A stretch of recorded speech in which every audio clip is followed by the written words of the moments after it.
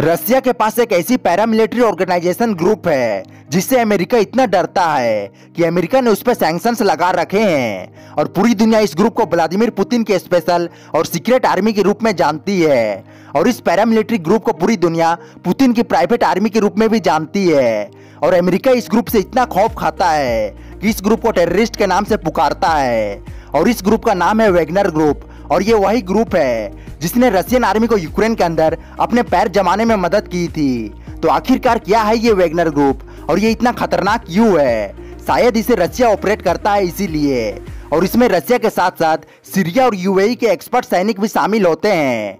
Wegener group इतना ज़्यादा powerful है कि इससे बड़े बड़े देश के पॉलिटिकल पावर भी डरती है।